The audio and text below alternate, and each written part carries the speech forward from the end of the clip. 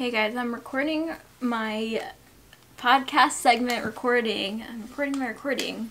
This is segment four. Most podcasts don't last more than seven episodes. So we're on the way there. I'm making this a weekly thing, committing to this because I have never wanted anything more. To just have something consistent when I know I can work on it, you know, without any outer influence. These are the Tough Luck hats. I'm sure you've seen it on my stories several times. The ones on the merch store that are linked below have white text with the red logo. And then also, new in the merch store are coffee mugs that say fuck off on them for every morning person like myself. So go get yourself a fuck off mug to support Desanti. I think the merch is dope. I personally am a merch fanatic. I'm literally releasing things just because I want to purchase them and I wanted to purchase a fuck off mug and a tough luck hat. So now they're up for you guys to purchase as well. I'm heavily caffeinated as usual. No, not as usual. I'm actually really like low, low, low energy. Normally I'm like a super naturally chill person. Enough music. Welcome back.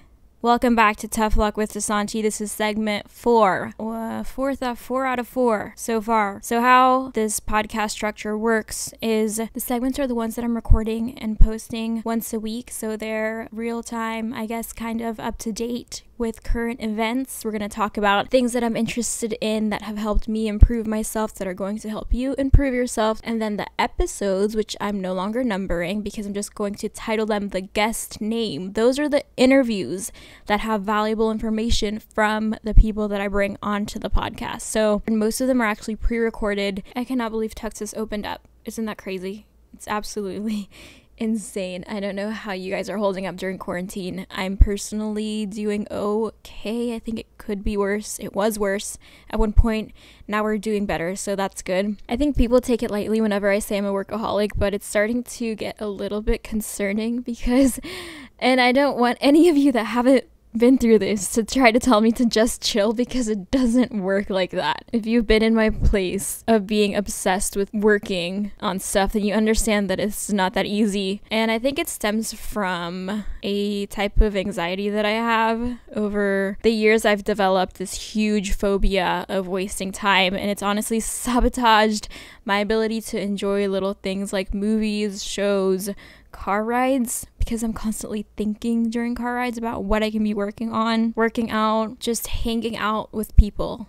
It makes me anxious that I'm not constantly working on something. It's a little bit detrimental because it causes me to have these cycles of intense productivity and output, but then I crash and have an awful burnout every couple of weeks. And then I have to reevaluate everything that I'm doing, reprioritize to bare minimum to maintain my mental health, and then it just goes back and I pull back on the health stuff and then I go hard on the work stuff. And I just can't seem to find that balance. My brain just doesn't have a middle. It's either I'm working a lot or I'm burnt out, and, I, and then I have to see what caused me to have that negative self inflicted pressure. I think this quarantine has caused me to slow down a little bit and lift that pressure because I don't have anyone else also influencing deadlines and what to post when, things like that. Because for the first time, I'm solely working on my own stuff and not with someone else. And I'm not competitive at all, but when I'm working with someone, I always, for some reason, I just, I, I like working in teams, so I end up being like, okay, come on, let's do this. And I end up getting overly excited and wanting to even work even more. I'm controlling my own pace because I don't have any outer influence. What's cool though is I never get bored. I have not used the word bored in years and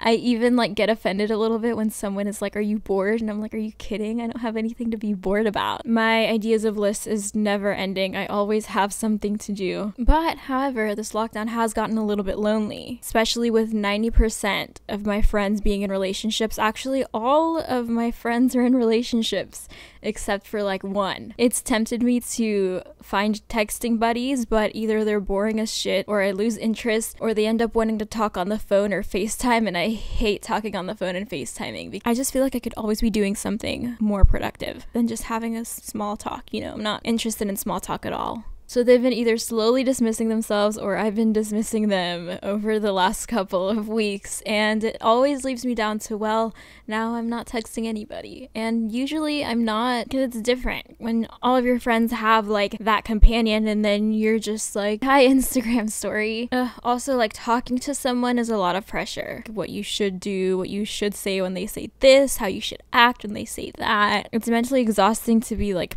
playing the chasing game, like the hard to get game. I hate that game. It's just draining. So I just kind of have stopped caring over the course of quarantine. I've, I've actually stopped leaving people on read. I don't give a fuck if I look too interested. I don't give a fuck if I don't look interested at all. Honestly, this could be kind of nice. Also, a lot of you have been noticing that I got my lips done. You would know that I did, and you wouldn't ask me if you would have listened to my last audio segment. And other than my lips, I also got my eyebrows ombre, which is the most painful procedure I've done. It's worse than getting a tattoo because it's near your eyelid skin, so it's thin skin right there. Imagine someone plucking your eyebrows, you know how bad that hurts, but now imagine getting a tattoo there. It's horrible. And I'm doing this because I want to stop wearing makeup every day and only keep it to special occasions and filming days because there's so many unhealthy chemicals in makeup. I want my skin to be healthy. You know, the US only bans 11 chemicals in cosmetics versus Europe that bans 1300. So where did the other ones go? Those are just going to be like allowed in the entire country. That's kind of a big number. What it says on the internet says the natural holistic world regularly spreads snippets around the internet.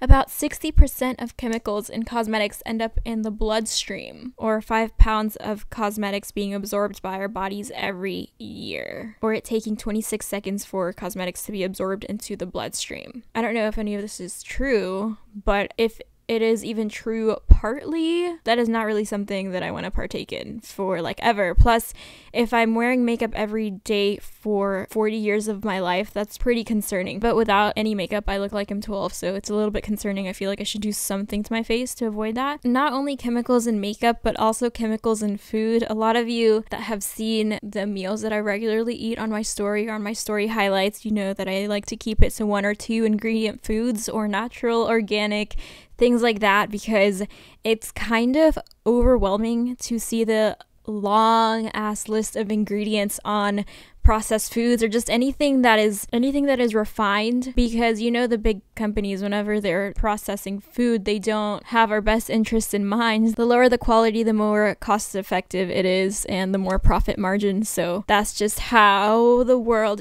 is I do enjoy bad foods a lot. I actually love junk food. I eat a bad meal like once a week but it's not every day. It also causes me to enjoy more. Like if I am craving Chick-fil-A or something I end up enjoying it more when I do have it versus having it like every other day or every week. Because I, I do think food is like eating for pleasure is is fun. Okay guys so my next segment segment five is crazy festival stories and I've gotten a couple of crazy festival stories from you guys but I want more because I want it to be longer if you want to send me a voice memo to my email hello at desanti.biz send me your voice memo of your craziest festival story and I will feature it in my next segment segment five okay now we're gonna get into the marketing this this is for us solopreneurs. My favorite word that I've discovered is being thrown around, which I think is cool because, you know, I think that word entrepreneur is a little bit like entrepreneur of what? Like an entrepreneur can be like the owner of the Macy's chains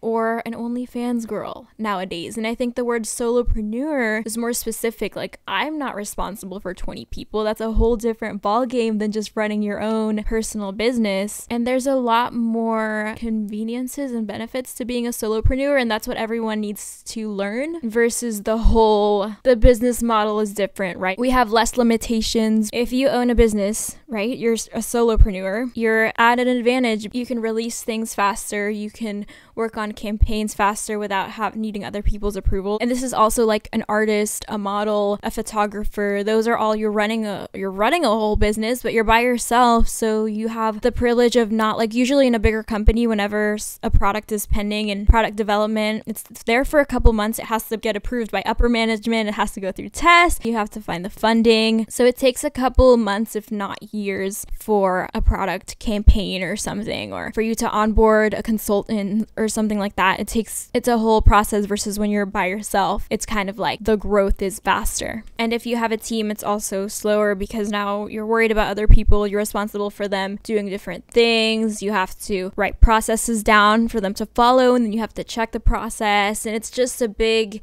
game of babysitting that we do not have time for here. So this is why